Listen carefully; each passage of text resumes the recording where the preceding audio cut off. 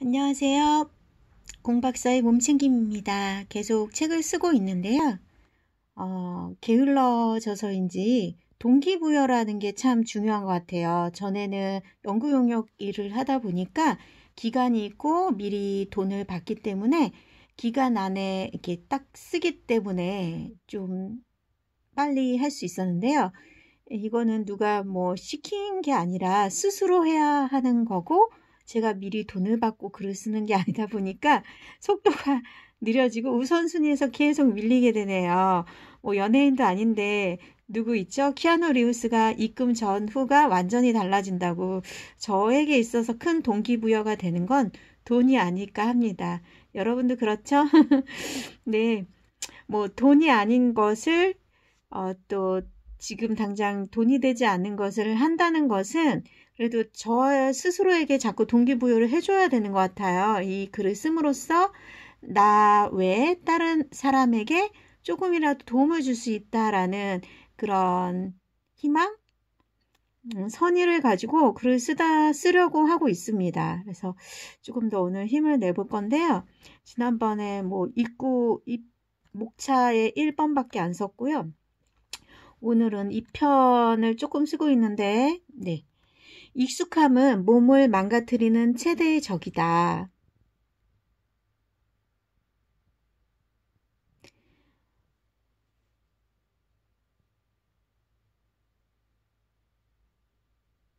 자, 개인이 감당해야 할 역할의 목은 점점 커지고 있죠. 하지만 지지 기반이 약해져 가는 사회에 살고 있다 보니까 어, 육아 또는 뭐 자기 스스로 돌봐야 되는 일들이 점점 많아지고 있고 1인 가족들도 많아지고 있는 것 같아요. 더구나 어릴 때부터 몸으로 움직인 세대들이 아니기 때문에 더 몸 쓰는 것에 더 약해져 있는 것 같아요.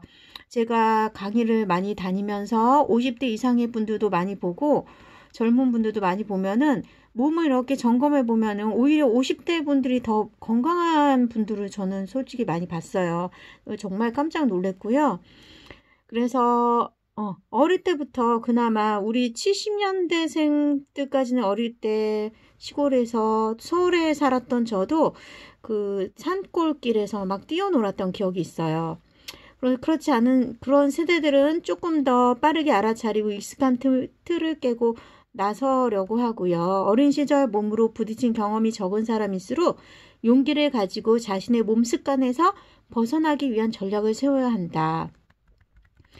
네, 특히 현재 자라나고 있는 아이들의 공간이 작아지면서 몸으로 놀지 못하는 시대가 되었고 그러한 까닭에 어린이들도 우울증, 무기력에 빠지기 쉽다. 음. 그래서 허약한 아이가 성장에 허약한 성이 되기 때문에 몸으로 느끼고 알아가는 것이 중요해졌다. 예, 저의 생각입니다.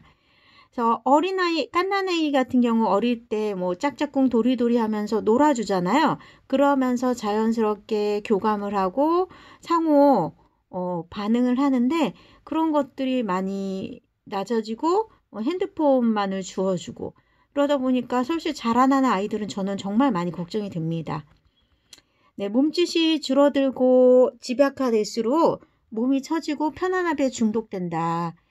아, 그 결과 몸은 나중에 큰 보복을 한다. 몸의 균형이 파괴되는 것은 병을 야기시키고 마음의 문제로도 이어진다. 예, 그렇게 생각됩니다. 마음과 몸이 분리되어 있지 않으니까요. 몸챙김은 두뇌를 바꾸고 몸의 균형을 이루게 한다. 운동량 크기만 봐도 아이들의 수업 태도가 다르다. 네, 한 3, 4년 제가 서울 시내 초중고 학교를 돌면서 느낀 점을 적은 건데요.